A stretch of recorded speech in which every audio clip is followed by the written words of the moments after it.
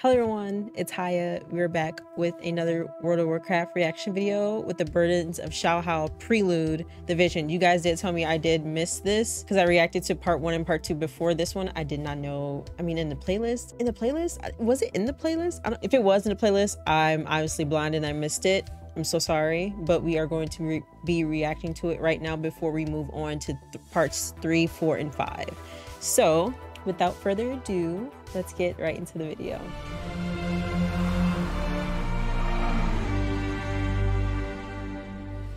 Ten thousand years ago, all the continents of Azeroth were as one. And it is said that all the rivers in the world flowed to one magical place. The art, the music. This was the ancient empire of Pandaria. Pandaria. Nestled in the most fertile of river valleys at the far end of the world. Behold, the last emperor on the day of his coronation. His name was Shaohao. Young Shaohao was born to be emperor and wanted for nothing. The wealth of the great Pandaren Empire was his to command. All Pandaren emperors begin their reign by consulting with the great Jinyu elders. Wow. It was said that the Jinyu could talk to the rivers, that they could hear whispers of the future in the rippling waves, the great water speaker closed his eyes and listened to the rivers. He listened for the Emperor's long life and prosperous realm, but he heard something else entirely. Oh. The wise old Jinyu saw a faraway land, a kingdom of elves grown bold in their arrogance. He saw a pit of fire, a great maw opening upon countless horrors. Numberless demons were about to pour forth onto Azeroth, rending the land, corrupting Legion. all they touched.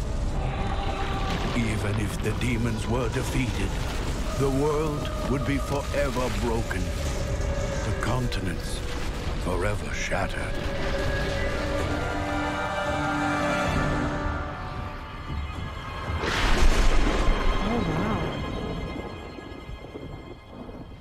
Emperor Shaohao watched in disbelief as the Jinyu water speaker reeled from the terror of his vision. What did you see? Shaohao asked. I'd be worried too. Long life? Hell no. Prosperous realm? No. But the future held neither for the last emperor of the Pandaren. No, young Shaohao could not rest on the riches of his empire. If he was to save his land and his people, he would be called to do something great.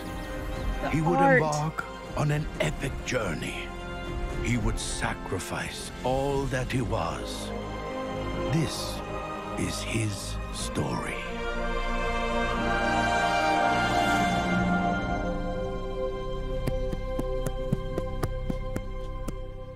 Now I can't wait. I can't wait to finish it. That doesn't feel like, it always feels so short. I mean, it is only four minutes long, but as I'm watching it, I don't know what I'm expecting. I'm like, as I'm watching, I'm expecting it to be like 20 minutes long. It's so good in the art. Oh my, I don't know how I missed this. I don't know how I missed the prelude. Ah, that honestly annoys me, but we we watched it. We're, we're good. We're good. We're good. Be on the lookout for parts three, four, and five coming soon. Um, and also be on the lookout for Lords of Lords of War. I think that is coming sooner actually.